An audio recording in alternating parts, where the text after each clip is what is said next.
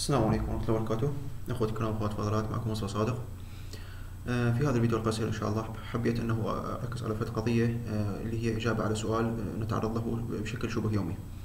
مثل ما تعرفون يعني منذ سنوات طويلة يعني نحن نشارك معكم كل ما نحصل عليه من كورسات مجانية من شهادات من webinars seminars مناهج كورسات غيرها من الأمور الأخرى.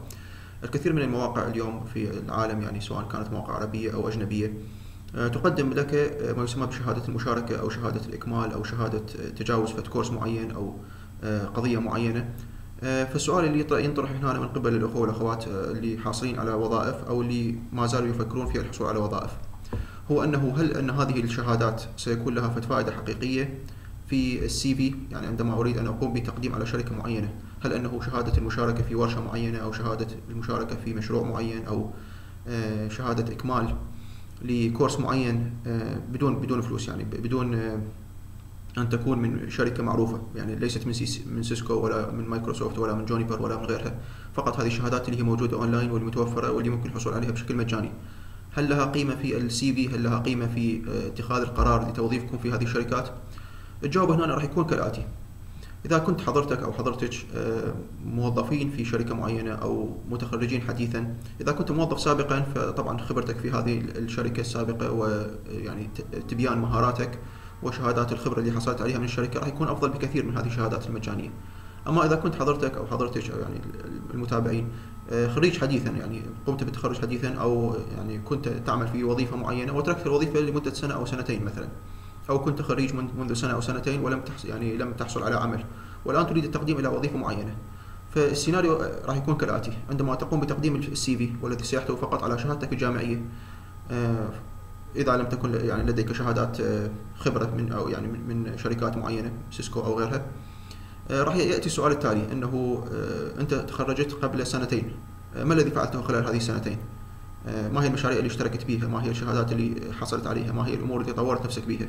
إذا كنت فقط آه، تدرس أمور يعني اونلاين بدون الحصول على شهادة طبعا ممكن إنه آه، تثبت هذا الشيء من خلال مهاراتك ولكن أغلب الأحيان تكون الأسئلة direct ويعني شورت قصيرة ومباشرة في ال interview في المقابلات راح يسالك بأنه okay أنت قبل سنتين تخرجت أو قبل سنتين تركت آخر وظيفة لك ما الذي فعلته خلال هذه المدة راح تقول بأنه أنا اشتغلت على ال web design على ال Android applications على يعني ال smart phones على إلى آخره من هذه الأمور طيب ما هو الشيء الذي يثبت هذا هذه القضية؟ طبعا هو ما راح يمتحنك بكود أغلب الأحيان يعني الشركات ما راح تمتحنك بكتابة كود أو بتصميم فد system معين في أثناء ال interview وانما راح يطلب من عندك فد دليل على هذه الأمور.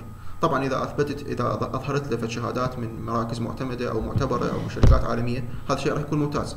إذا لم تكن لديك القدرة المادية على أنه تخوض هذه الدورات وتأخذ الشهادات اللي هي بفلوس فيعني إظهار شهادات اللي هي مجانية من عدة مواقع من عدة أماكن آه، تبين اولا أنه أنت آه، تحب التعليم المستمر يعني مستمر في تطوير نفسك. ثانيا آه، أنت ما كنت يعني lazy أو كسول فقط منتظر فرصة التعيين وإنما كنت دائما تشتغل على نفسك تريد تطور نفسك تريد توصل إلى شيء معين. ثالثا هذا راح ينطي فد indication فد انطباع للشركة. على أنه يمكن تطويرك أكثر في المستقبل. يعني أنت شخص تحب الجد والاجتهاد تحب التعلم. فهذه الشهادات حتى وإن لم تكن هي العامل الرئيسي في قرار تعيينك أو توظيفك في هذه الشركة أو لا ولكنها تبدو جيدة في ال CV يعني في كل حال من الأحوال. أما إذا كان هناك قابلية لخوض دورات يعني احترافية في سيسكو جونيبر مايكروسوفت AWS أي واحدة من الشركات العالمية وخوض الامتحانات اللي هي بفلوس والحصول على هذه الشهادات اللي هي شهاده شهادة حقيقية. تعتبر يعني technical certificate ولها قيمتها طبعا هذه راح تكون أفضل بكثير في ال CV. هذا هو الشيء الوحيد اللي حبيت إنه أشاركه معكم. آه، وشكرا جزيلا. ومع السلامة.